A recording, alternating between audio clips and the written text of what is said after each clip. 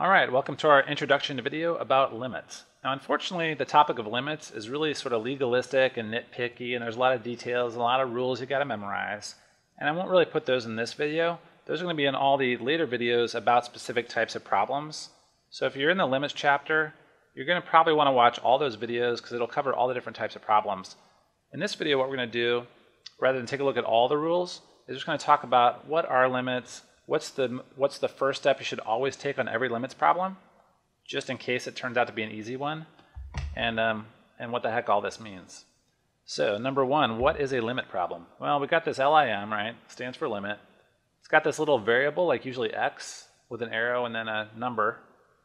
And the way that read, and then we got a function here. So whatever is behind the limit function, all this stuff, that's like the function.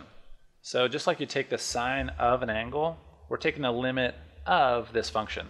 So that's why if you translated this problem right now into right here into English, it would read as the limit as x approaches 2, so meaning x is going closer and closer to 2, and then you notice we have the word of, and then x plus 1. So the function is what we're taking the limit of.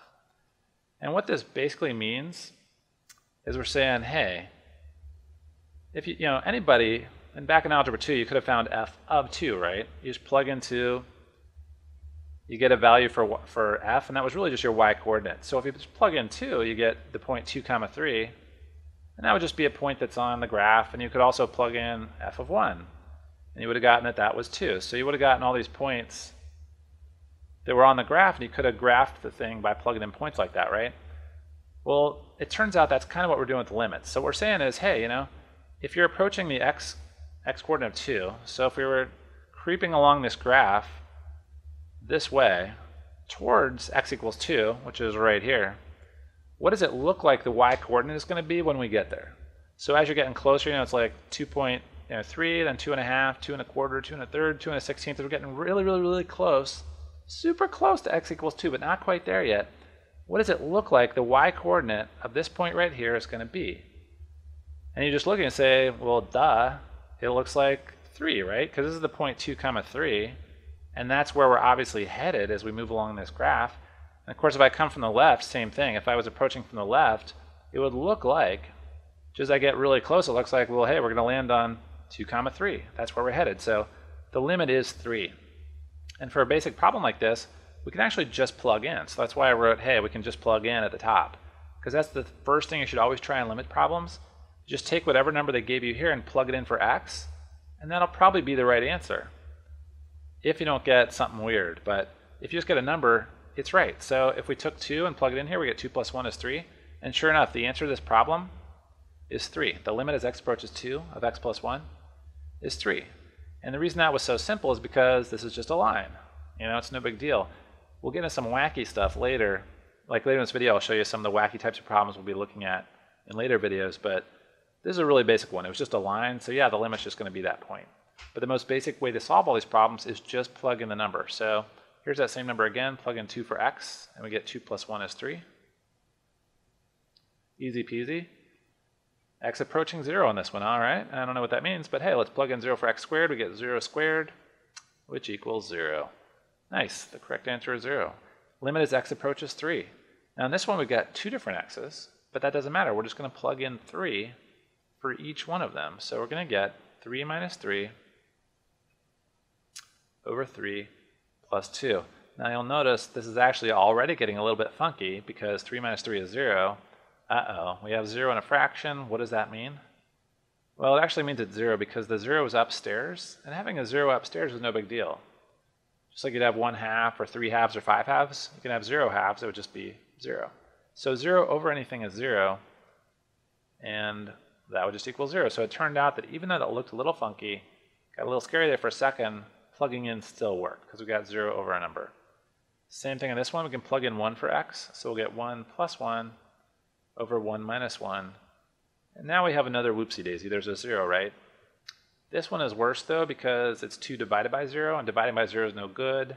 It's undefined. I mean, two divided by zero is undefined. It turns out that we're going to use a special word to describe this answer because it's a limit problem. So we're going to say the limit does not exist. So dne stands for does not exist. You're saying, hey, the limit doesn't exist because you can't divide 2 by 0. And this, there would have been a vertical asymptote. If you graphed this thing, you would have gotten a crazy vertical asymptote at 1. And it would have gone like, Zoo. so you're sort of like, as you approach 1, see how we're just like shooting off to infinity? Except infinity is not a number, so that just does not exist. So you just, you just memorize, hey, if you ever have to divide by 0, the limit does not exist, it's undefined or whatever. So, I'm not going to work this problem right now, but suffice it to say, this is actually the same line we looked at in the previous slide just a couple of minutes ago. But you'll notice what I did was instead of just having a normal line that goes no big deal, very easy to find the limit of, all of a sudden I said, you know what? Let's take the point that was right here at 2 comma 3, the one we were using, let's just move it up here just to mess with your head, right? So it's kind of like a piecewise function from pre-calculus or something. The point is this problem was made to mess with you, but we're going to go over the rules that apply to these graphing things. There's a few, and a few rules, and then I'll make it pretty plug and chug and pretty straightforward. Again, I don't want to get those rules now. I just want to show you that, hey, the way they're going to mess with you is they're going to give you fancy graphs and do stuff like taking a dot and putting it somewhere else, or putting an empty dot one place and then a closed dot somewhere else. Like check out this next problem.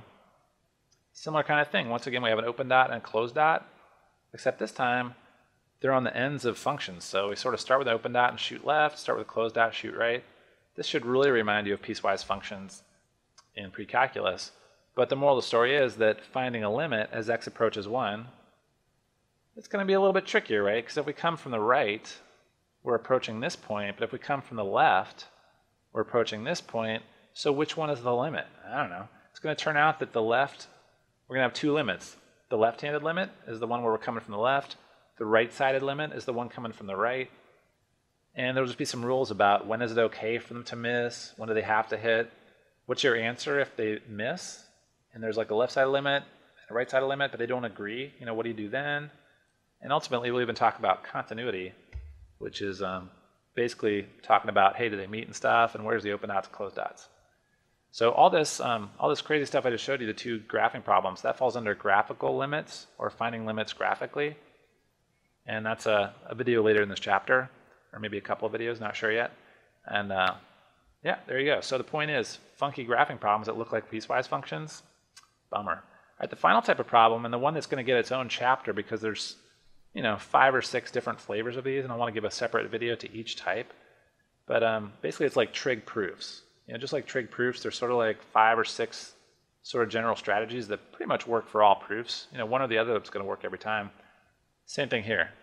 We're going to have five or six strategies for dealing with limits. You know, we don't have a graph here. There's just crazy algebra, crazy functions, big fractions and stuff. We're just going to have one or two strategies for dealing with this. And you might be wondering, hey, Chris, you told me that what I should always do is just plug the number in. And I would say, you know what? Good catch. I'm glad you reminded me. So I'm going to try plug it in 1. So what do I get? I get 1 minus 1 over 1 cubed, which is 1 minus 1 equals, oh, bad news. But now you might be telling me, hey, Chris, why is that bad? Because you told me that 0 over anything is 0. Oh, wait, but you also told me that anything divided by 0 is undefined. This is a problem. When you have two zeros, one over the other, we got a new word for that, indeterminate. And basically what that means is you're not done yet. There's some trickery and some math cookbooky type stuff and some plug and chug you could do to this thing to figure out what the limit actually is. Because 0 over 0, you might be thinking, oh, that just equals 1. Yeah, but it might equal 0, it might be 1 fifth, it might be equal 2 thirds, it might be a 1,000. It's going to turn out, once we do some more math on this using the techniques from the next chapter, we'll get numbers for this a lot of the times. We'll get like a number out that's not zero and not infinity or something. So that's when plug and chugging hurts uh, is not going to give you an answer. Same thing happens on this one. If we just plug in zero, because hey, that's the first thing we always try on limit problems, we're going to get sine of zero over zero, which is again zero over zero, which again is indeterminate.